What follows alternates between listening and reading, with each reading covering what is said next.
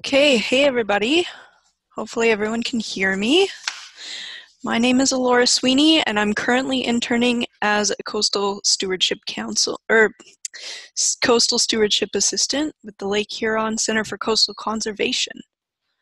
So I'm a member of the Canadian Conservation Corps, a youth program through the Canadian Service Corps in partnership with the Canadian Wildlife Federation. So this program immerses Canadian youth in hands-on conservation and environmental learning and education outreach by teaming up with different experts and organizations in the conservation field across Canada. It's an awesome program and I'm loving it so far. So there is a Q&A section if you are interested um, in having any questions answered. So we'll go over those um, at the end of the webinar here. Uh, I may not be able to have all the answers since I'm just an intern, but I will definitely try my best to answer them um, or at least get back to you on uh, any questions that you may have. All right. So before we get started, I do want to take some time to thank our generous sponsors. So this webinar series would not be possible without the continued support of our sponsors. So thank you very much to RBC and Bruce Power. You support, they're supporters of many of our initiatives and we're very grateful for their support. So thank you so much. So who are we at the Coastal Center? So the Lake Huron Center for Coastal Conservation is a nonprofit charitable organization that was founded in 1998 with the goals of protect, protecting and restoring Lake Huron's coastal environment and promoting a healthy ecosystem within that environment. We have a small and mighty team of three full-time staff members with the help of summer interns such as myself, a volunteer board of directors, consultants, and advisors. The Coastal Center focuses to help protect and preserve the entire Canadian shoreline of Lake Huron by conducting community-based projects and outreach initiatives such as community beach cleanups and our science-based citizen science project, Coast Watchers. The data collected by our Coast Watcher volunteers get entered into a national database, which, which helps uh, researchers and scientists to track conditions and trends along the coastline. So I actually just organized my first beach cleanup in Kincardine this past weekend, uh, where we ended up getting 80 volunteers and picked up 200 pounds of garbage off our shoreline. So thank you for joining the fourth installment of our six-part webinar series.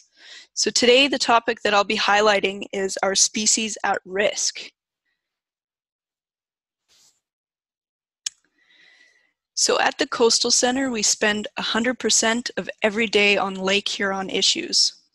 With our main focus from Sarnia all the way up to Tobermory, we'll work anywhere along the Canadian shoreline of Lake Huron, working on a variety of environmental issues, restoration projects, and education outreach products, projects. Sorry.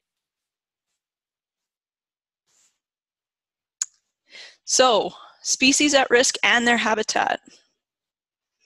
This is a piping plover, a little chick, and I believe this was actually at Sauble Beach. I got to see my first one this year and they're so cute.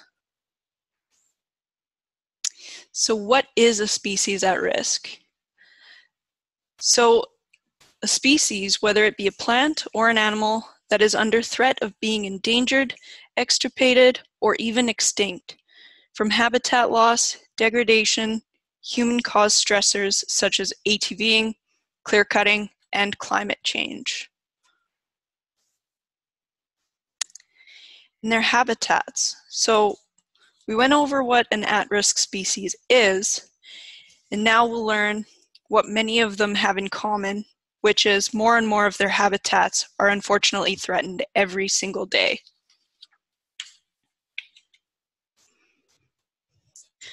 So what is a habitat? The habitat of a species is defined as the space that a species needs in order to live and grow. This space must contain such things as food, water, living space, and shelter from weather events and predators. Each species depends on a specific habitat in order to survive. If this habitat is destroyed, individuals may not be able to survive or reproduce, and the species can actually become at risk that way. We have a few levels of risk. We have special concern, threatened, endangered, and extirpated. So these are the four main levels of risk. A group of experts, using the best science and traditional knowledge available, determines what level of risk to assign the species that are at risk. So we'll go over them in more details and have a few examples of each animals and plants and their habitats. So first off, we'll tackle special concern. So special concern is defined as a species that lives in the wild, at risk of becoming threatened due to a combination of biological characteristics and identified threats. So monarchs are a special concern here on Ontario, and their habitats include open woodlands, fields and meadows, marshes, roadsides, and gardens. So their diet consists of a nectar from a variety of native flowers, but they're primarily fed, they primarily feed on common milkweed. So the milky sap from the milkweed plant produces a toxin called cardenolides, also known as cardiac glucosides, which make them very distasteful for predatory birds. So what threatens it? Widespread pesticide and herbicide use, habitat loss and fragmentation of their overwintering sites in central Mexico due to forests being logged and converted into agricultural lands. An example of a special concern plant, or tree in this case, is the Shumard oak. So Shumard oaks prefer moist soils and can grow close to water and swampy areas. And since these trees enjoy their life close to water and swampy areas, they actually help with water quality and erosion. Their roots absorb excess nutrients and other contaminants, acting as a natural filtration system. Not to mention they are a great carbon sink. The leaves help slow down the flow of rain, and their root system helps keep soil in place, which helps reduce the risk of erosion. So what threatens this? As trees mainly grow along fence rows, they're at risk from fence, fence row brushing and field clearing, and large forested trees may be taken for logging.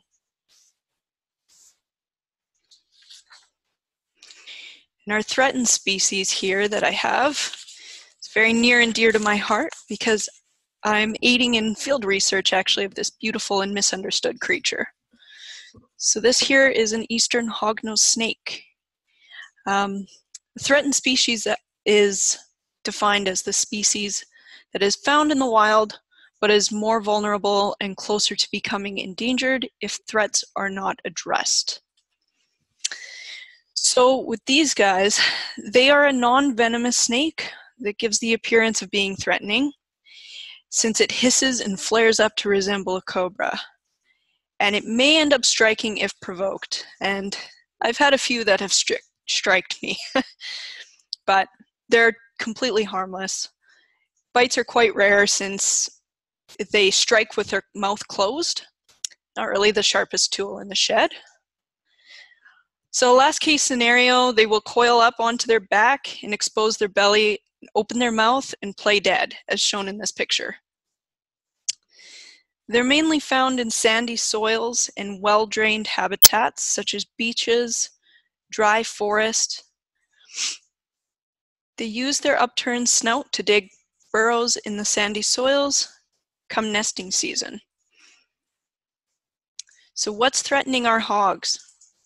Like most species, they're threatened with habitat loss and fragmentation. An increasing threat is road mortalities. They're especially mobile around mating and nesting seasons, so please brake for our snakes.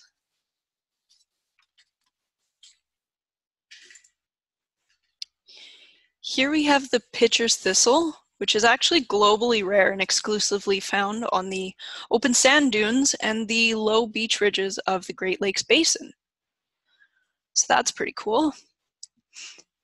This plant's life cycle includes a long 3 to 11 year growth period, and once its seeds form and disperse, the entire plant dies.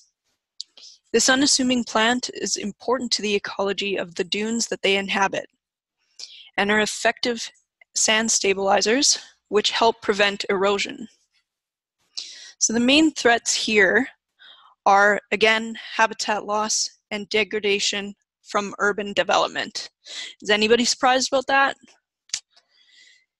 Excessive recreational use of beaches, including ATV use on sand dunes, and probably a decline in pollinators may also play a part in their decline as well.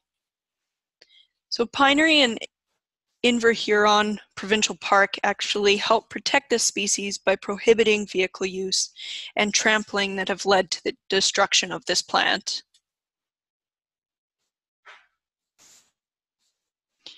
On the endangered list, we have the piping plover here. So this is a species that can be found in the wild, but is in serious danger of becoming extirpated there's greater concern for their conservation to prevent possible extinction. So we don't want that to happen. So these tiny shorebirds spend a majority of their time on the shorelines on dry, sandy, or gravelly beaches, where they also exclusively nest. The primary threat to piping plovers is human disturbance. One of the most recent conflicting issues is grooming of beaches.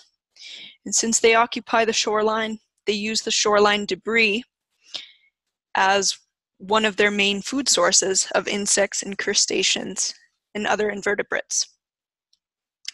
When heavy machinery is used to groom these beaches, not only is that source of grooming or diet groomed away, but the removal of the willow bushes and other vegetation means the removal of their natural hiding places, making them their eggs and their chicks vulnerable to predation.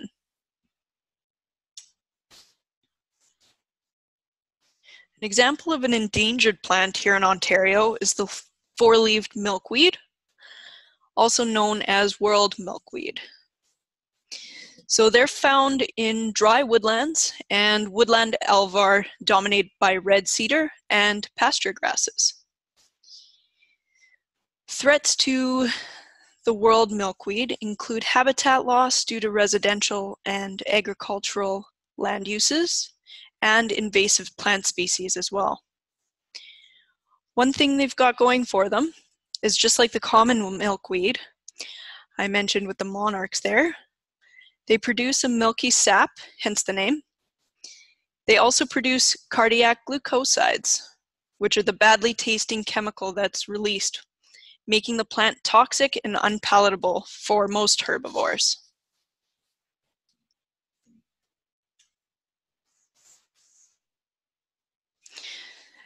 So finally we have extirpated. So this is defined as the population of a species ceasing to exist in a certain area. So other populations may exist elsewhere, but they may be at extreme risk of extinction. So this is kind of your last chance, if you will, to act for further protection of the species. Here we have an eastern box turtle, which are no longer found in Canada, presumably due to the extensive loss of forest cover and overharvest of food in the 1500s. They're very common in the pet trade, however, and it's thought that sightings in the 20th century have actually been released pets. And uh, it is to be mentioned that these captive animals should never be released into the wild, as they have they would never survive in the winter. And there is a risk of introducing disease or parasites to other wild populations as well. Unfortunately, all eight of our turtle species found in Ontario are at risk, but there are ways that you can help, which we'll go over a little later in the webinar here. Some species have already disappeared completely from Canada. So right here we have the plains grizzly bear. So they used to live on the prairies, but they no longer exist, unfortunately. They disappeared in the 1800s with the advancement of European settlers and the advent of firearms. The recovery of the plains grizzly bear is not feasible in Canada anymore because there is not enough habitat left for them in the Canadian prairies.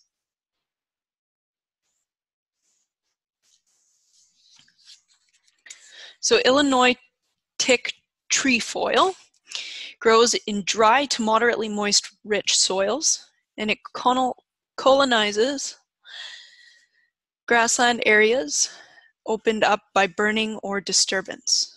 So this prairie species is a member of the pea family, and it was last located in 1888 at one location near London, but it has not been reported since. It may be possible that there's a small population in southwestern Ontario, but they can mostly be found in north central United States.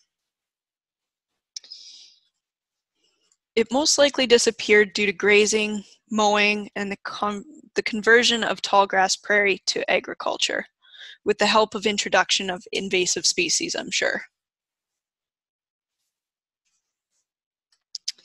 One thing that I haven't listed, which is worth mentioning, is extinction which unfortunately is threatening a lot of our species.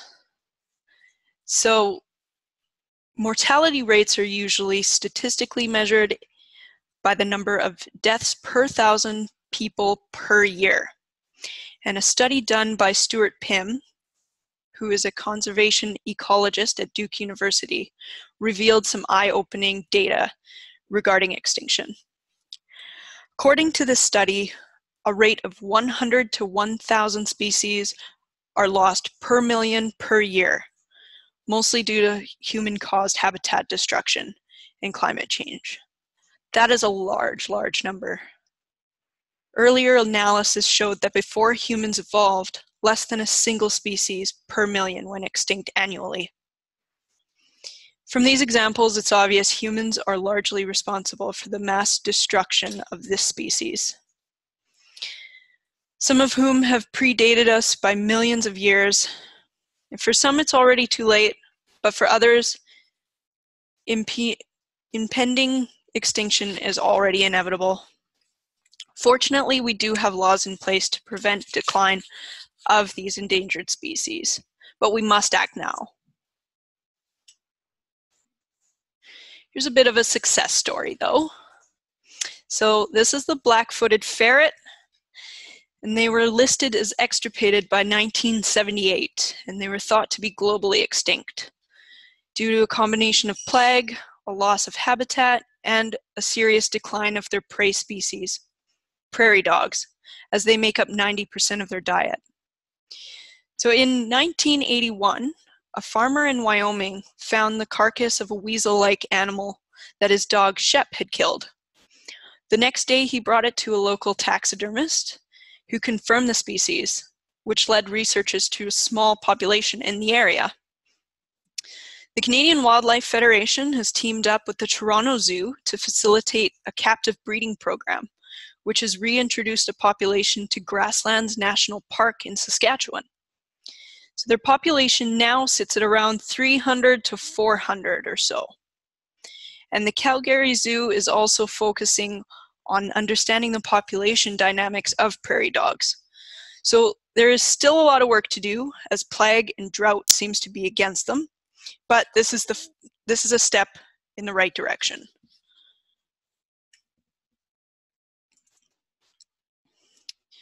By protecting the habitat of a species at risk, we hope to protect that species and prevent its extirpation. Why are all species important?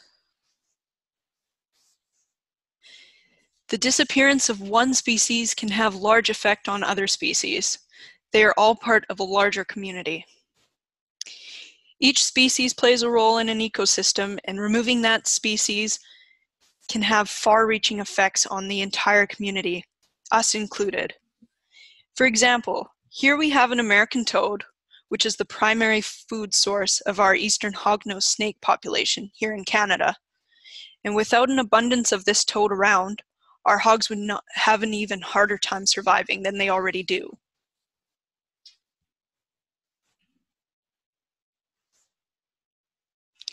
So habitat changes. Habitat changes affect all species in the area. For species that are already at risk, these changes can have strong negative effects from which the species may never be able to recover. Can you name some habitats that occur naturally? So lake level fluctuations can alter beaches and dunes, particularly periods of high lake levels, which we're experiencing now. During low lake levels, the beach and dunes rebuild. So the photo on the left here is from the high lake level in about 1985 to 1986 and the photo on the right is actually the same beach area during low lake levels. So you can see there's quite a difference. Dune species have actually adapted to these dynamic conditions.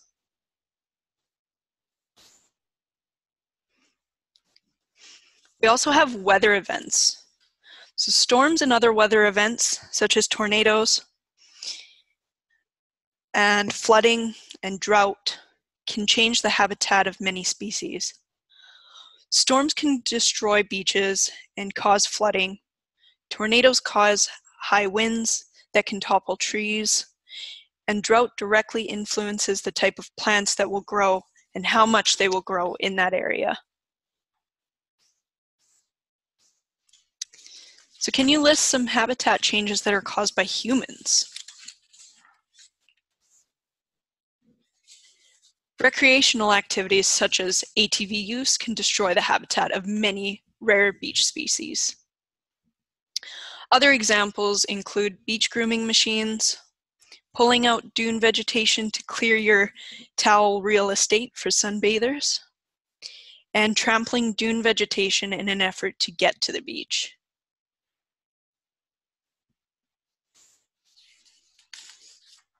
We also have pollution. This is a huge one. So pollution causes many habitat changes. The effects can be very far-reaching. Fertilizer used to grow a crop can leach into a nearby lake and create chemical levels in the lake that are not suitable for the fish. Car exhaust as well causes acid rain, which can harm trees and change the chemistry of lakes so that fish cannot survive.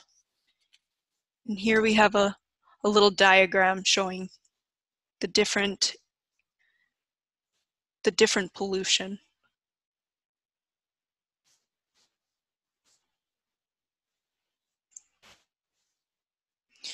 So how do human-caused habitat changes differ from naturally caused, caused changes? Well, human-caused habitat changes often cause long-term effects that are permanent. Species are often negatively affected by these sudden, unexpected changes to which they can often not adapt. So the effects of natural habitat changes are usually temporary and reversible. They're often a natural process within the ecosystem, and species have learned to live by these habits and have evolved with these natural changes and have adapted to them.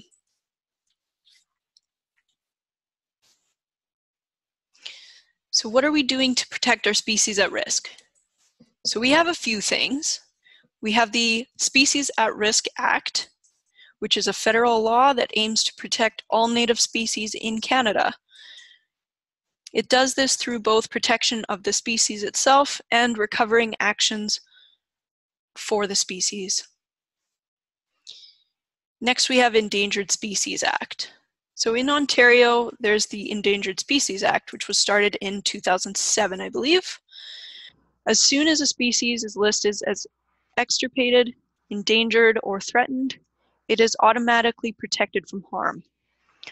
Also, immediately upon listing, the general habitats of the endangered and threatened species are automatically protected from damage or destruction. And last, we have COSEWIC, which stands for the Committee on the Status of Endangered Wildlife in Canada. This was established in 2003, and it is an independent advisory panel to the Minister of Environment and Climate Change Canada. They meet twice a year to assess the status of wildlife species at risk of extinction.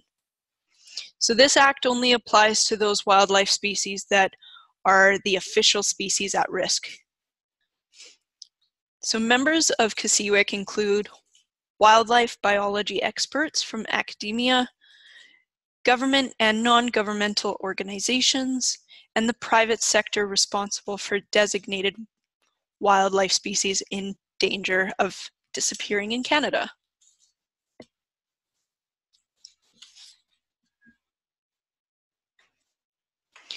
So once a species is listed at one of these levels under the Species at Risk Act, it is illegal to kill, harm, harass, capture, or take an individual of a species listed as threatened, endangered, or extirpated.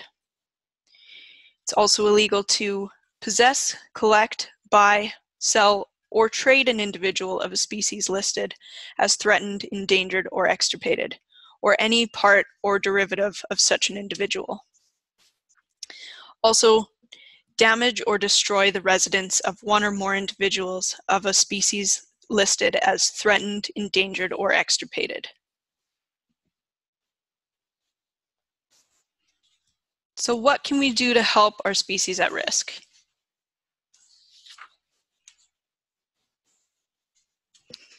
Well, if you find an injured turtle, this is a good place to start on what you can do. So you contact the Ontario Turtle Conservation Centre, home of the Kawartha Turtle Trauma Center. They treat and release injured turtles and have a network of volunteer turtle taxi drivers. You can place the turtle in a dry, secure container with air holes and keep it in the shade. Do not give the turtle any food or water. Try to limit the handling and wash your hands afterwards. As they do, you can contact um, salmonella from them. So note the location of that the turtle was found and report the sighting to the Ontario Reptile and Amphibious Amphibian Atlas. And even if the turtle is dead, report it anyway as eggs may be recovered if it is within net nesting season. What you can do. If you see a species at risk, please keep this information to yourself. Telling other people, such as neighbors in that area, will not help the species at all. Many species at risk can be extremely vulnerable to poaching and habitat destruction. You can report a sighting by emailing the Natural Heritage Information Center, which is listed here. Using research apps like iNaturalist, eBird, Ontario Reptile and Amphibian Atlas, and Ontario Butterfly Atlas. I recommend everybody to download iNaturalist. It is a wonderful, wonderful app. If you do have a sighting of poaching, you can report it to the Ontario Ministry of Natural Resources, and the phone number is listed here. And if you want to learn more about species at risk, make sure to visit our website.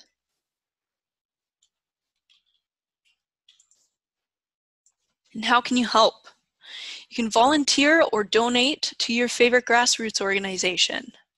So we have a few listed here, and uh, one that's very important as well is your local wildlife rehabilitation center. Um, most of the time they aren't government funded. Um, there's very few grants out there that they are able to get, um, so they rely very heavily on donations and they do very important work. Um, and also very important is just be a good steward. Um, as as a private landowner, you may be eligible for stewardship programs that support the protection and recovery of species at risk and their habitats.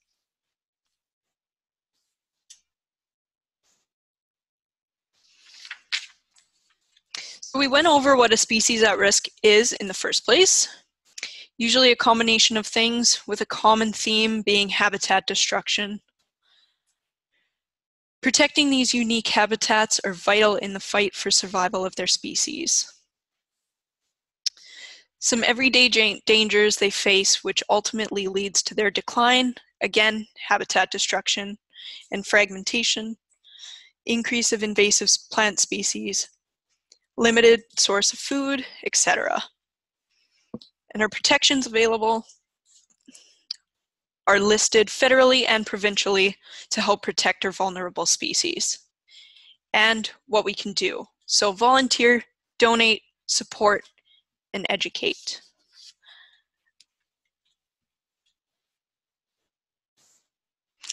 And that is the end of my webinar. Thank you for bearing with me. This is my first time. um, so you could be be sure to register for our next webinar on water quality, scheduled next Wednesday at 7 o'clock. And uh, if anybody has any questions, we can uh, go through those.